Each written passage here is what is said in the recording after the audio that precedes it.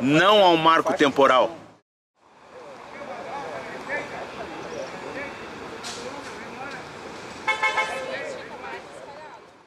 Hoje tem uma pauta que é central é, para as comunidades quilombolas e também territórios indígenas, áreas de conservação permanente na Amazônia, no Supremo Tribunal Federal em Brasília.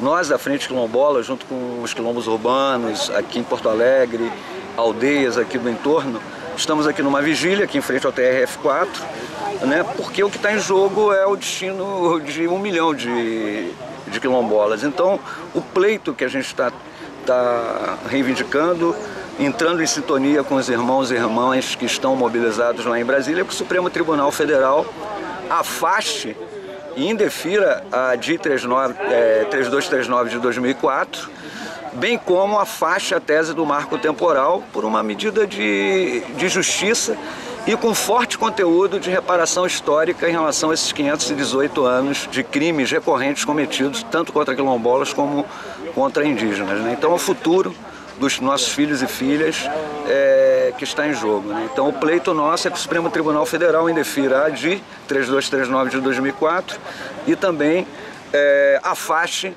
a nefasta tese do, do marco temporal. Essa votação que está acontecendo hoje, que para nós é muito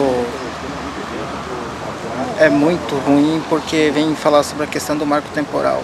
E leva a entender que parece que nós não existíamos antes de 1988.